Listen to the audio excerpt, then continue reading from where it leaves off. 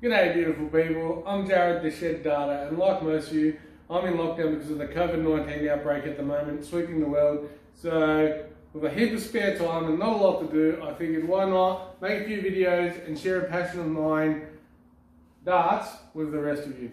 Now over the next few weeks I'm going to make a few videos with strategies, tips, a few games, maybe even live stream a match or two against some mates. Um, possibly you guys can send me a challenge and I can see what I can do if I can pull it off, I don't know. Um, we'll see how we go. But for today, the first thing I want to show you guys is how to make an LED ring light for $25 or less for your dartboard. It's not that hard and to be honest, the results are pretty good. I'll just turn the lights out, give you a look at what I'm talking about. Now that I'll put together in possibly 45 minutes to an hour and I'm about to show you how. Alright, so to begin with, I went down to the local tyre shop and asked for a, an old tyre. Um, they were happy to give me one for free, free of charge. And yeah, I brought the tyre home and the first thing I had to do was uh, cut it in half. Obviously this is the other half of what I use, so this would need to be cleaned up back to that line. Uh, this is the this is the hardest part of the whole job is you've got to get a grinder and cut through the wire and crap. So it's probably the most pain in the ass part to be honest. Um, took me maybe half an hour to get through it with a grinder. I've only got a small grinder, so a couple of blades. But yeah, um, at the end you would you you have the half and you'd probably tidy that up back to this seam if you can see that there through through there. Yep. So after that, obviously the tyre would be looking like this with its wall. Um, this part, not so hard. I just got a Stanley knife. There's some guidelines obviously on the tyres usually. Um, again, this was just a rough cutout. Uh, you just follow one of the lines. Probably leave a little bit of a lip because you want to hide the globes of the LEDs uh, when you're standing at the oche. So, yeah, what I did was got a Stanley knife, followed through all the way around, one of the lines, and yeah, that's the result. Now that part, you just put over there. Okay, so you're left with this, your LED ring. Well, it's not an LED yet, but it will be. Okay, so first thing I did was got myself a level or straight edge, whatever you want to use. Marked out eight spots. One, two, three, four, five, six, seven, eight. Now, with those spots, they're pretty important. Obviously, this would have a cleaner edge when you're doing it. You, uh, to drill, drill yourself a hole. Straight through the. Pretty straightforward. Now, got this wire here. Um, it's just an old coat hanger I cut it up. My wife doesn't know yet, but, well, she'll find out eventually when she realises some of the clothes don't hang up. And in, the, in straight into the hole, just tap that down. Now, we're going to do that for every hole. And it'll make sense soon. Uh, at the moment, you're probably thinking, why is it drilling holes and putting wire in? Well, it'll all make sense soon when I show you off the back of the other one. Right, so yeah, so on and so forth, all the way around. You got um, eight eight bits of wire, eight holes. Pretty simple. All right.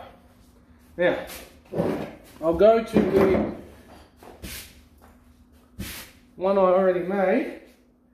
Okay. So, well, another important thing I did. Uh, when the tyre was first put in, oh shit, when the tyre was first put in, put down, I um, set the tyre on there, just centered it as good as I could, and you just scribe a line around there, around the other side, uh, probably on the back. Uh, yeah, so, okay, so that line's pretty important because what's going to happen is on the other side, these wires the ones that were standing up before like this. So you've got your surround, you've got your line of where your tyre is, the wires are all standing up straight, push her straight down in line. Okay, pretty simple. Once they're down, just get a pair of pliers and yeah, just bend them over. Now that'll hold the board, uh, the tyre onto the surround, no problems. Okay, that part was simple, simple enough for you now. The only part I had to buy was the LED ring light from Bunnings, which was $22 or depends what country you're in. Maybe you don't have Bunnings, but I'm sure you can get it online anywhere really. Um, so yeah, once I pushed it all down, I fed the, the light in. Make sure you leave obviously the connector sticking out the top and we're ready to put it on the board. Right, so now we have our surround with our tyre on it. Um, as you can see, I put some tyre shine on it just to clean up the tyre, because obviously it was an old tyre that I got from the tyre shop. Now, pretty simple, boards on the wall already, just like any other surround. Just feed it on, making sure your connector is about wherever your power source comes from. And Bob's your uncle. There you go, look at that. She's already on. Okay, so there you have it. It's that simple.